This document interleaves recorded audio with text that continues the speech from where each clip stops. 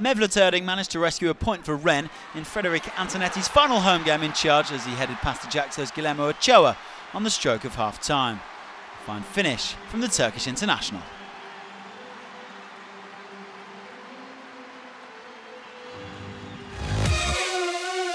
Zlatan Ibrahimovic edged a little closer, to becoming the first man since Jean-Pierre Papin to score 30 goals in a Ligue 1 season.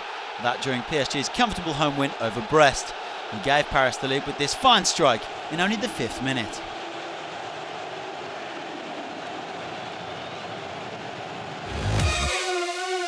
And the Super Swede was decidedly on song. Goal number 29 came courtesy of this blistering free kick in the 36th minute. David Beckham, eat your heart out.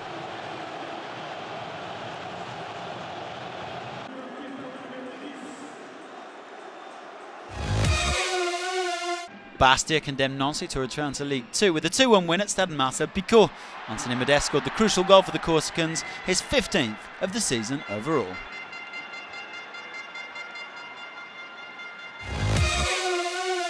Finally, Evian's Saber Khlifa followed up his 70-yard wonder goal against Nice last week with another superb effort in only the second minute of the game against Valenciennes.